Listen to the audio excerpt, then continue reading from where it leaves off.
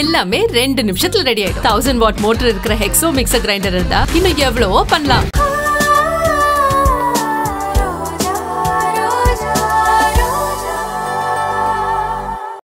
சாவி கொத்து விஷயத்துல என்ன நடந்துச்சு? அதானே.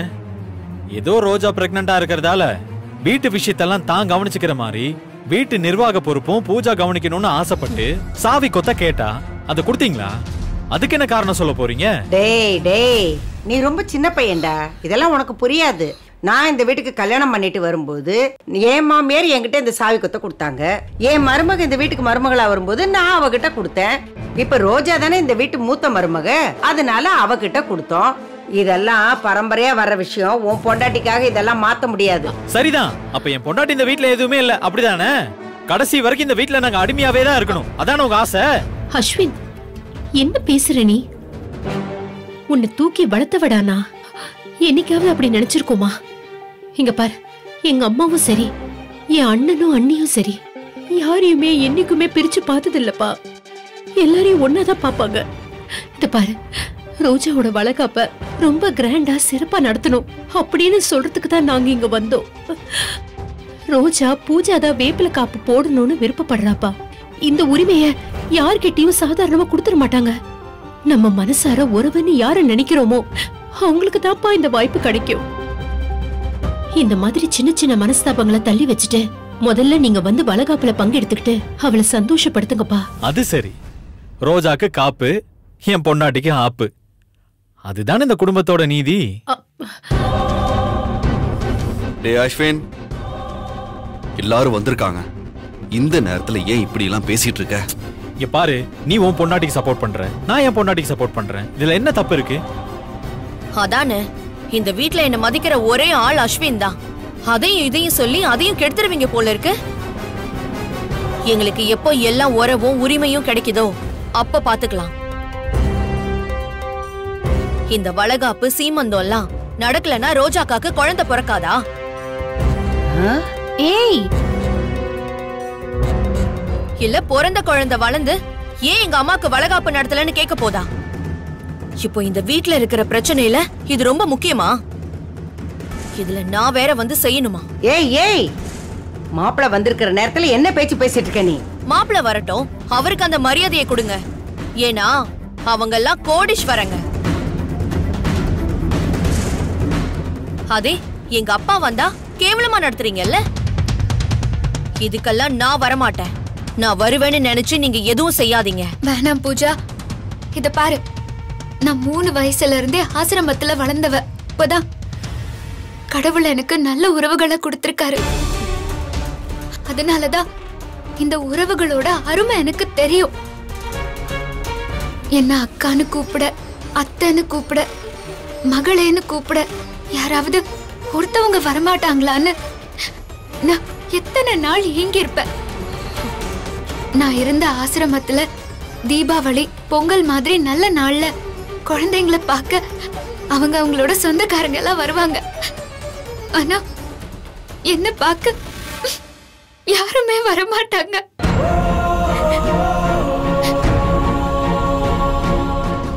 ஏன்னா எனக்கு தான் அப்போ யாருமே கிடையாது. அப்போல்லாம் நான் ரொம்ப ஏங்கியிருக்கேன். இப்ப கூட நான் நினைக்கிறது என்னன்னு தெரியுமா? என் வயித்துல இருக்கிற புள்ளைக்கு எல்லா உறவுகளும் கிடைக்கணும். எல்லா உறவும் அவனை தூக்கி வச்சு கொண்டாடணும். நமக்கு எல்லாரும் இருக்காங்கன்னு அவன் மனசுல வரணும். அதனாலதான் உன்னை முதல்ல காப்பு போட சொன்னேன். நான் உண்மையா மனசுல இருந்ததா சொன்னேன் பூஜா. இங்க பாருங்க ரோஜாக்கா இந்த மாதிரி பேசுறதெல்லாம் போதும். இத கேட்டு கேட்டு என் காதை அழுத்து போச்சு. இந்த ஃபங்க்ஷனுக்கெல்லாம் நான் வர மாட்டேன் ஏன்? சரி உனக்கு என் மேல தானே கோவம்? என்ன அறியாம சில விஷயங்கள் நடந்துருச்சு. அதனால என்ன நீ வெறுக்கலாம். ஆனா இன்னும் முகத்தை கூட பார்க்காத என் வயித்துல வளர்ற குழந்தை உனக்கு என்ன பாவம் பண்ணா? அந்த குழந்தைக்காகவாவது நீ வரணும்ல? அம்மா தாயே போதும். முக்கியமான நேரத்துல வெட்டி விடுறீங்க. உங்களுக்கு தேவையான நேரத்துல ஒட்டி வரீங்க உங்க உறவே எங்களுக்கு தேவையில்லை. அதுக்காக ரொம்ப வசதியா போச்சுன்னு எங்களுக்கு சேர வேண்டியதெல்லாம் சேர விடாம பண்ணிடாதீங்க. அதுக்கெல்லாம் கோர்ட் இருக்கு. நான் விட மாட்டேன். வேணாம் பூஜா. எதுக்கு நீ கோர்ட் அது இதுன்னு பெரிய வார்த்தையெல்லாம் பேசிட்டு இருக்க? நீ வக்கீலா கோர்ட்டுக்கு போகலாம். அதுக்காக இந்த வீட்டை கொண்டு போய் கோர்ட்ல நிப்பாட்டிடாத. நான் உனக்காக தான் பொறுத்து பொறுத்து போறேன். நீ எப்பவுமே என் பக்கத்திலேயே இருக்கணும். இந்த வீட்ல இருக்கணும். அப்படிதான் நான் நினைச்சிட்டு இருந்தேன். நான் இப்பவும் சொல்றேன். எனக்கு வளகாப்பு நடக்கும்போது நீ என் பக்கத்துல நிப்ப. நீதான் என் கையில முத காப்ப போடுவ. நான் தான் வர மாட்டேன்னு சொல்லிட்டு இருக்கேன்ல. நீங்க என்னடான்னா நான் தான் உங்களுக்கு முத காப்பு போடணும்னு சொல்லிட்டு இருக்கீங்க? ஆமா. நான் உன் மேல வச்சிருக்கிற பாசம் உண்மையானது. அந்த நம்பிக்கையில தான் சொல்றேன். நீ வருவ. என் கையில வேப்பில காப்பு போடுவ. நீதான் முன்ன நின்னு நடத்த போற. இது நடக்காது. நடக்கும். நான் நடத்தி காட்டுறேன். நீங்க எப்படி நடத்துறீங்கன்னு நானும் பாக்குறேன். நானே வரமாட்டேன்னு சொல்றேன். நீங்க என்னமோ சேலஞ்ச் பண்ணிட்டு இருக்கீங்க அஸ்வின் எதுக்கு நமக்கு இதெல்லாம்? வாங்க போலாம். பூஜா. பூஜா. போங்க. அஸ்வின். என்னம்மா இது? பூஜா வந்த புதுசுல ரொம்ப நல்லா தானே இருந்தா? அவ ஏன் இப்படி மாறிட்டா? நல்லா தான் இருந்தா அண்ணே. ஆனா இந்த வீட்ல சில பேரு அவளோட மனசுக்கு எல்லாம் தப்பு தப்பா சொல்லி மனச மாத்திட்டாங்க. ரோஜா நீ ஏம்மா போய் அவகிட்ட கெஞ்சிக்கிட்டு இருக்க? அவெல்லாம் ஒரு ஆளா? அவ வரலன்னா விடு. நல்லதுன்னு நினைச்சுக்க. இல்ல பாட்டி. என்னதான் இருந்தாலும் பூஜா இந்த வீட்டு மருமக. அவ என்ன எப்படி நினைச்சாலும் பரவாயில்ல. அவள நான் என் தங்கச்சியா தான் நினைக்கிறேன். அவ சின்ன பொண்ணு பாட்டி. உங்களுக்கே தெரியும்ல. அவ ஏன் இப்படி நடந்துக்கிறான்னு. ஒரு அக்காவா நானும் அவளை போனா போகட்டும்னு விட்டுறக்கூடாது. இந்த குடும்பம் எப்பவுமே ஒத்துமையா இருக்கணும் பாட்டி. அதனாலதான் நான் வார்த்தைகளை கூட அளந்து பேசிட்டு இருக்கேன் வார்த்தையை அளந்து பேசுற? ஆனா ஆளுங்களை அளக்க தெரியலையேம்மா உனக்கு. நீ தானம்மா இவளை இந்த வீட்டுக்கே இழுத்துட்டு வந்த? இவளுக்காக எல்லாத்தையும் விட்டு கொடுத்துட்டு இருக்க நான் விட்டு கொடுக்கறதே இந்த குடும்பத்தோட ஒத்துமைக்காக தான் பாட்டி. இந்த மரியாதையை என்னைக்கும் விட்டு கொடுக்க மாட்டேன். இந்த குடும்பம் கண்டிப்பா ரெண்டாயிடக் கூடாது எனக்கு அதுதான் முக்கியம். அதனாலதான் நான் எல்லாத்தையும் பொறுத்துக்கிட்டு போறேன். பூஜா பிறப்புலயே தப்பானவளா இருந்தா நான் அவளை விட்டுருப்பேன். ஆனா அவ நல்லவ. யாரு எது சொன்னாலும் அவ கேட்டுக்குவா. அதுதான் அவகிட்ட இருக்கிற ஒரு குறை. அத வச்சுதான் இங்க இருக்கிற சில பேர் ப்ளே பண்ணிக்கிட்டு இருக்காங்க. பாத்தியா சண்பகம் உன் பொண்ணு எவ்வளவு அறிவா அழகா பேசுறான்னு? இவளுக்கு ரொம்ப பெரிய மனசு சண்பகம் இவகிட்ட இருக்கிற மனசுல கொஞ்சமாவது அந்த பூஜா பொண்ணுக்கு இருக்குதா? பரவாயில்ல. விடுங்கம்மா. ரோஜா சொன்ன மாதிரி பூஜா அடிப்படையில தப்பானவ இல்லம்மா. ஏதோ கால நேரம். அதனாலதான் இப்படி பேசுறா. அதான் கொஞ்சம் மனசு கஷ்டமா இருக்கு. இந்த வளகாப்புக்கு யார் வேணாலும் கலந்துக்கு வரலாம். ஆனா நாம யாரை நேசிக்கிறோமோ? அவங்க ஒரு வார்த்தை சொல்லிட்டா மனசு கொஞ்சம் சுருக்குன்னு குத்துமா? பிடு ரோஜா அவ ஏதோ புரியாம பேசுறா. அதுக்காக அவளுக்கு எதிரா சரிக்கு சமமா நீயும் மல்லு கட்டாத. காலம் எல்லாத்தையும் சரி பண்ணும் அது சரி. கரெக்டா தான் சொல்ற ஆனா அத்தை வந்து எல்லார் மேலயும் அதிகமா பாசம் வச்சுட்டாங்க. யாரும் அப்படி இப்படி பேசினாலும் அவங்களால தாங்கிக்கவே முடியல. ம் நீ ஆயிரம் தான் சொல்லு மருமகளே. என் பேத்தி ரோஜா மாதிரி வராது. அவ தான் எனக்கு எல்லாரையும் விட ரொம்ப முக்கியம். பாட்டி ரோஜா மேல எவ்வளவு பாசம் வச்சிருக்கீங்க? சந்தோஷமா இருக்கு பாட்டி. ரோஜா சொன்ன மாதிரி பூஜா இந்த ஃபங்க்ஷனுக்கு வருவா. ஏன்னா ரோஜா காரணம் இல்லாம எதுவுமே சொல்ல மாட்டா. அம்மா நீங்களும் அப்பாவும் வந்திருக்கீங்க. இந்த பிரச்சனையில டீ சாப்பிடுறீங்களான்னு கூட கேட்க மறந்துட்டேன். இருங்க டீ போட்டு எடுத்துட்டு வரேன். இது என்ன கேள்வி? உன் கையால டீ சாப்பிட்டா கசக்குமா? போய் எடுத்துட்டு வா. உன் அப்பாவுக்கு மட்டும் சுகர் கம்மியா போட்டு எடுத்துட்டு வா. இல்ல இல்ல. சர்க்கரை கொஞ்சம் அதிகமா போடு சரிப்பா. உனக்கு வழக்காப்பு நடக்க போகுது இல்ல அத செலிப்ரேட் பண்ண வேணாமா? சாப்பிட்டுட்டு சுகர் ஜாஸ்தியாகி மாத்திரை போட்டுக்கோங்க. அது கரெக்ட் தான்.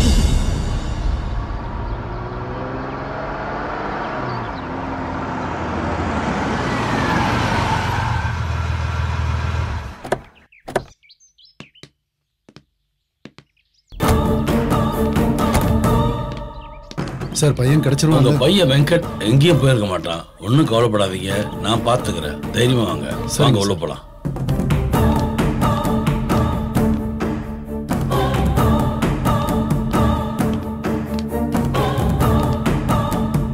வணக்கம். குட் ஈவினிங் ஜெஸ்ஸி மேடம் நான் தான் வந்திருக்கேன். வாங்க வாங்க. கான்ஸ்டபிள். மேடம். ஜேஎஸ் சார கோர்ட் ஆர்டர் படி கையெழுத்து போட வந்திருக்காருல்ல? ஆ. அக்யூஸ்ட் எங்கேயும் ஓடி போயிடாம இருக்கணுங்கிறதுக்காக. அதனால இந்த ரெஜிஸ்டர் எடுத்து கொடுங்க. என்ன நக்கலா? நான் வேற விஷயமா வந்திருக்கேன். ஓ அடுத்து ஏதாவது தப்பு பண்ணிட்டீங்களா? மரியாதையா பேசினா நல்லது. எனக்கு பேசவே டைம் இல்ல. இதுல எங்க மரியாதையா வேற பேசுறது? வந்த விஷயத்த சொல்லுங்க. ஜெய சார் நீங்க கொஞ்சம் சும்மா இருக்கீங்களா? உங்க கௌரவத்தை பார்க்க வேண்டிய நேரமா இது? மேடம் என் பையன் வெங்கட்ட காணோம். இன்னைக்கு அவன் சிங்கப்பூர் போக வேண்டியது. டிக்கெட் எல்லாம் போட்டாச்சு. ஷாப்பிங் பண்ணிட்டு வரேன்னு சொல்லிட்டு போனவன் இன்னும் வீட்டுக்கு வரல. ஷாப்பிங் முடியலையா? சிங்கப்பூர் போயிட்டாங்களோ? ஏர்போர்ட்ல எல்லாம் விசாரிச்சீங்களா? மேடம் நான் சீரியஸா பேசிக்கிட்டு இருக்கேன். அப்போ ஆம்புலன்ஸ்க்கு ஃபோன் பண்ணவா? ஜெஸ்ஸி. மிஸ்டர் ஜேஎஸ் இது போலீஸ் ஸ்டேஷன் இங்க வந்து என் பேரெல்லாம் சொல்லக்கூடாது. கால் மீ மேடம் மேடம் இவர் பையன் வெங்கட் காணோம். அதே மாதிரி கொஞ்ச நாளைக்கு முன்னாடி வெங்கட் ஃப்ரெண்ட்ஸ் ராஜா வேலு ரெண்டு பேரும் அவங்களே அடிச்சு செத்துட்டாங்கன்னு ஒரு பிரச்சனை ஆயிடுச்சு. பிரச்சனை எல்லாம் இல்ல. அதானே உண்மை. அதை பத்தின விசாரணை நடந்துட்டு இருக்கு. இன்வெஸ்டிகேஷன் பண்றதா அவங்க வேலை. அவங்க ரெண்டு பேர் அடிச்சுக்கிட்டு தான் செத்தாங்கன்னு நீங்களே முடிவு பண்ண எப்படி? இப்ப அதே மாதிரி வெங்கட்ட ஒரு பிரச்சனை மாட்டிக்கிட்டு இருக்கான். அர்ஜுன் தான் இது எல்லாத்துக்கும் காரணம். அவன் தான் இதை பண்ணியிருக்கான். அவனை கூப்பிட்டு விசாரிக்க. அர்ஜுன் சாரா? அர்ஜுன் சாருக்கும் உங்க பையனுக்கும் என்ன சம்மதம் இருக்கு? அப்படியே இருந்தாலும் அர்ஜுன் அவனை ஏதோ பண்ற அளவுக்கு உங்க பையன் என்ன தப்பு பண்ணா? அர்ஜுன் தொடர்ந்து ஷாம் ஃப்ரெண்ட்ஸை டார்ச்சர் பண்ணிட்டு இருக்கான். எனக்கு என்னமோ சந்தேகமா இருக்கு. இதே கம்ப்ளைண்ட் எடுத்துக்கிட்டு அர்ஜுன் அரெஸ்ட் பண்ணுங்க. நீங்க லாயர் தானே. எந்த ஆதாரமும் இல்லாம ஒருத்தரை அரெஸ்ட் பண்ண முடியாதுன்னு உங்களுக்கு தெரியாதா என்ன? முழுசா வக்கீலுக்கு தானே படிச்சுட்டு வந்திருக்கீங்க. உங்ககிட்ட ஏதாவது ஆதாரம் இருந்தா கொடுங்க.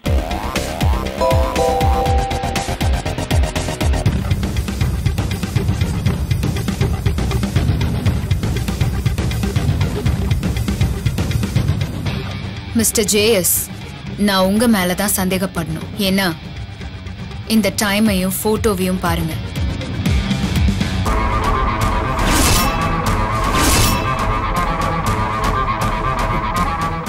நீங்க ஏன் வெங்கட் ஏதாவது பண்ணிருக்க கூடாது? ஐ மீன் அர்ஜுன் சார பழி வாங்குறதுக்காக? மிஸ்டர் ஜேஎஸ் நீங்க என் பையனை பாத்தீங்களா என்கிட்ட அதை சொல்லவே இல்லை. என்ன சார் இது? சார் இதுக்கு அதுக்கு சம்மந்தம் இல்லை சார். போலீஸ்காரங்க போட்டு வாங்குற வேலையை பார்க்கறாங்க. அது வேற விஷயம். நான் அப்புறம் சொல்றேன். என்ன விஷயம்? இப்பவே சொல்லுங்க. இங்கேயே சொல்லுங்க. இல்ல இதுல சொல்றதுக்கு ஒண்ணும் இல்ல. அர்ஜுன் தான் வேற நம்பர்ல இருந்து அனுப்பிச்சிருக்கான். அவன் தான் வெங்கட் எங்கேயோ கடத்தி வச்சிருக்கான். கடத்தி வச்சிருக்கானோ இல்ல போட்டு தள்ளுறானோ யாருக்கு தெரியும்? ஓகே அப்படி நினைச்சீங்கன்னா நீங்க ஒரு கம்ப்ளைண்ட் மட்டும் கொடுங்க. உங்க என்கொயரியை நான் பாத்துக்கிறேன். அங்க எழுதி கொடுங்க. வாங்க.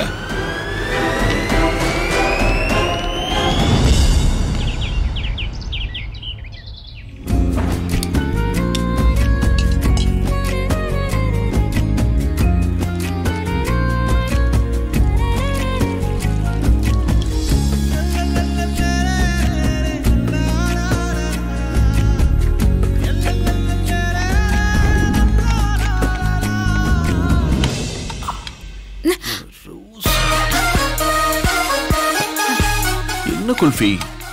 சத்தம் போடாம வந்து கட்டி பிடிக்கிற நீ பயப்படவே மாட்டேங்கிற. நான் எதுக்கு சார் பயப்படணும்? இது நம்ம வீடு. என்ன வந்து தொடுறதுக்கு உங்களை தவிர வேற யாருக்கு சார் உரிமை இருக்கு? தைரியமா?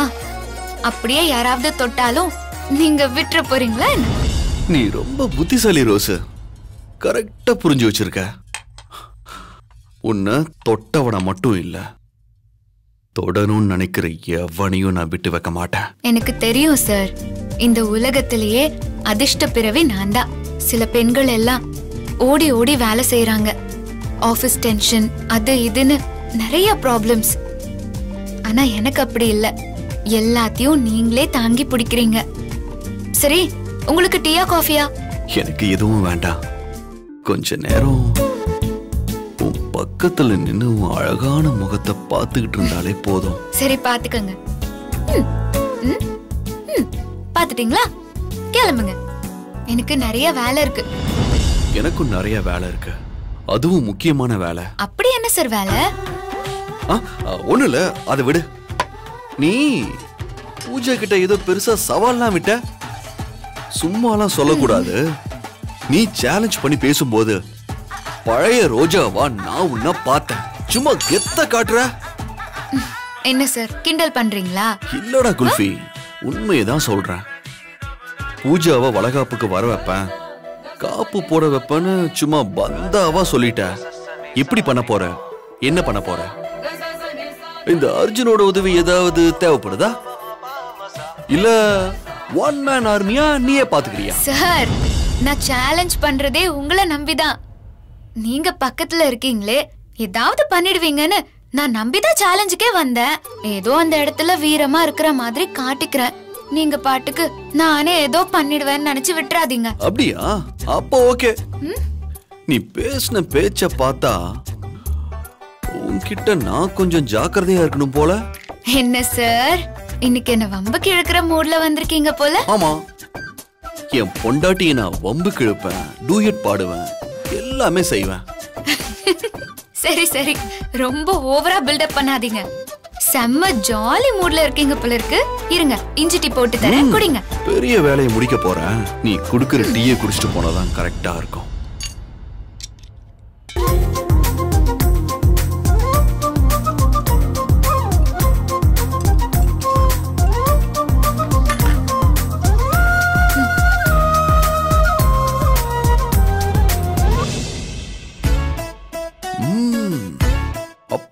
அப்பப்பப்பப்பப்பப்பா என்ன ஒரு டேஸ்ட் இப்படி ஒரு டீயை நான் என் வாழ்க்கையில குடிச்சதே இல்லையே. சார் நீங்க கலாய்க்கிறீங்களா? இல்ல பாராட்டுறீங்களா?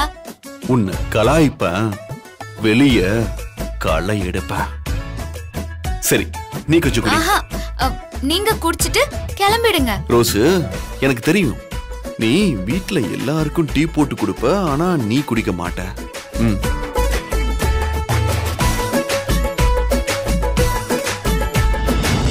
ரோஜா இந்த டீயை குடிக்கும்போது எனக்கு என்ன ஞாபகத்துக்கு வருதுன்னு தெரியுமா? தெரியலையே சார் அன்னைக்கு பாட்டி எங்க அம்மாலாம் சேர்ந்து நமக்கு ஒரிஜினலா ஃபர்ஸ்ட் நைட் வச்சாங்கல்ல அந்த ஞாபகம் வருது. இங்க பாருங்க புடிங்க. முதல்ல நீங்க டீயை குடிச்சிட்டு கிளம்புங்க. போங்க. ஆ, நான் அவங்களுக்கு டீ கொடுக்க போறேன். நீங்க கிளம்புங்க.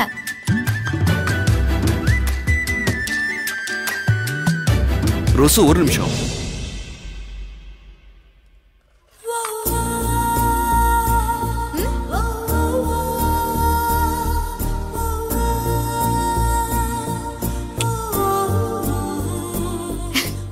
என்ன ஆச்சு சார் உங்களுக்கு? அதான் சொன்னேன்ல ஒரு முக்கியமான வேலையா போறேன்னு. அதான் கொஞ்சம் சார்ஜ ஏத்திக்கிட்டேன். போங்க சார்.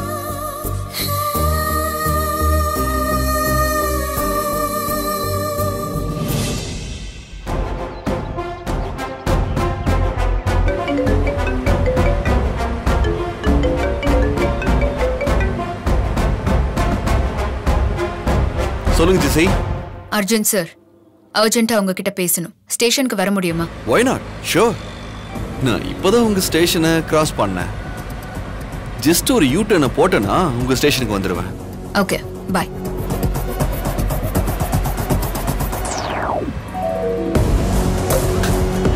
எல்லாம் என் பிளான் படி தான் போயிட்டு இருக்கு ஜேஎஸும் வெங்கட்டோட அப்பாவும் கண்டிப்பா கம்ப்ளைண்ட் தர வருவாங்கன்னு நினைச்சோம்.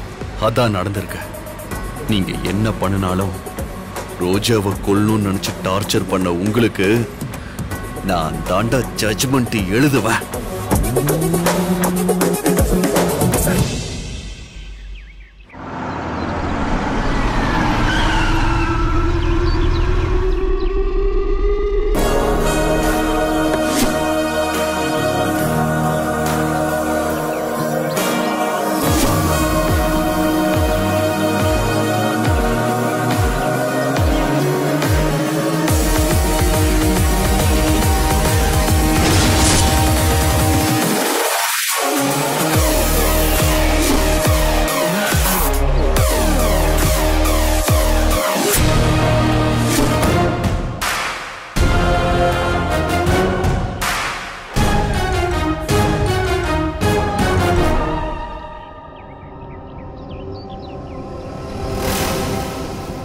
ஹலோ ஜேஎஸ் இங்கதான் இருக்கீங்களா?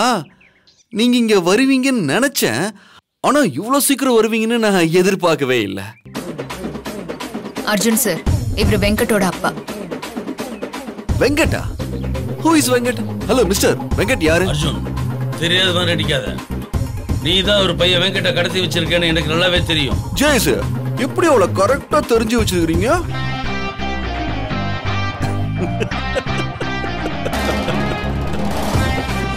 சார் இவர் பேச்சையெல்லாம் நம்பாதீங்க. ஏன் சொல்றேன்னா இவர் பேச்சை நம்பி நான் தான் கடத்தி வச்சிருக்கேன்னு நினைச்சுக்கிட்டு ரியலா கடத்தினவனுங்கள கோட்டை விட்டுற போறீங்க. ஜெசி மேடம் பையனை காணோன்னு கம்ப்ளைண்ட் கொடுக்க வந்திருக்காரு. பாவம் உடனே ஆக்ஷன் எடுங்க.